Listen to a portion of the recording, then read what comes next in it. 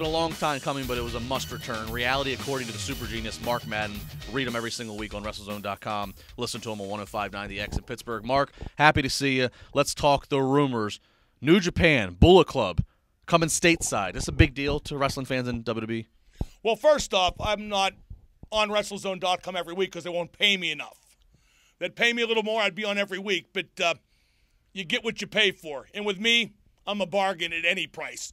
As far as Bullet Club, obviously they can't use the name, and the Young Bucks signed with ROH a, uh, a while ago, so they're not going to come to WWE. But I can't help but think this is just a knee jerk reaction by WWE because New Japan stepped on their toes by having the temerity to do dome shows that get on pay per view in the U.S., by putting uh, New Japan Pro Wrestling on AXS TV.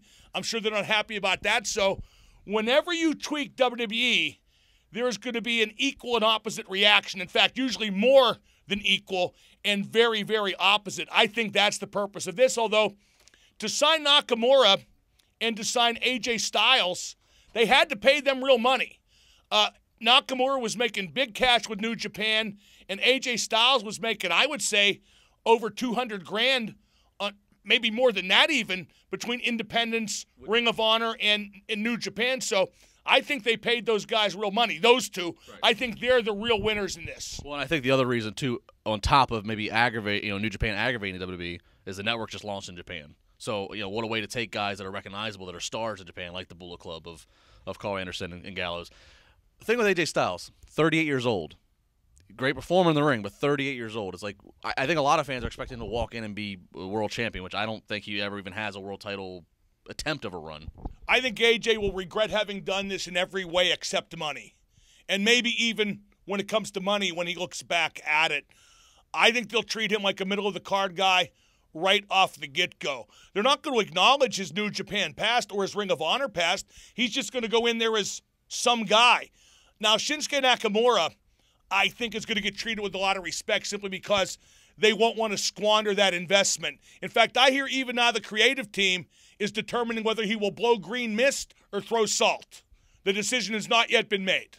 We'll keep you updated on that. Uh, let's switch gears over to Roman Reigns in the WWE World Heavyweight Championship. First time ever since your boy Ric Flair in 1992 uh, ended up winning the title off the Rumble. Uh, is this a good idea or bad idea of Roman Reigns having the odds stacked against him, title in the match?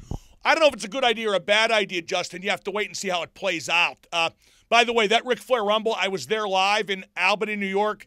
It was one of the great moments of my wrestling fandom.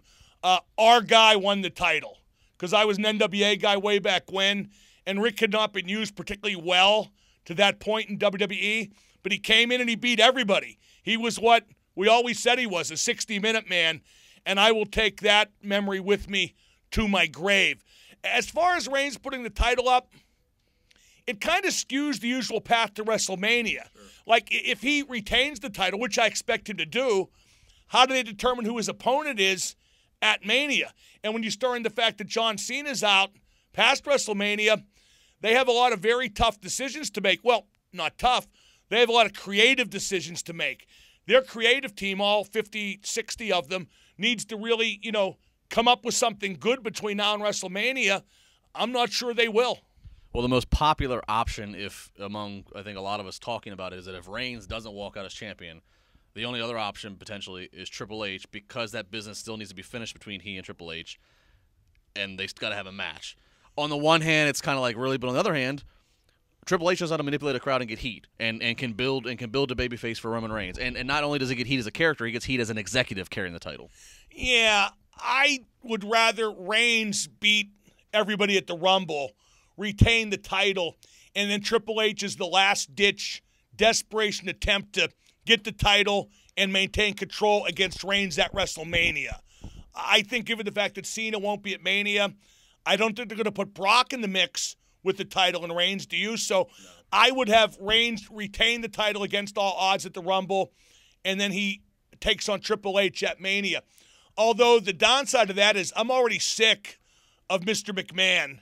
He was great when he first came back and he gave Reigns a much needed boost, but he's been on too long. He's been on too much. It's the same old shtick we've been seeing with the heel owner dating back for now, you know, a couple of decades. So, and the authority's even worse because Trips and Steph aren't Mr. McMahon. They just aren't. They aren't seen in that class by the marks. So I want to get away from that angle sooner, not later. But that shows no signs of happening, does it? You never did answer uh, salt or green mist.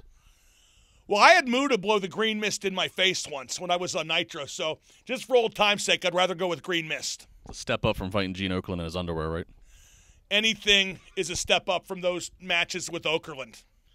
Follow him on Twitter at Mark Madden X. You can check him out when he is published on WrestleZone, and of course, you can check him out also on 105.9 The X in Pittsburgh. Check out iHeartRadio app. Mark, thanks as always. Happy New Year's. Thank you, and Happy New Year to all the great people at WrestleZone, and I want more money.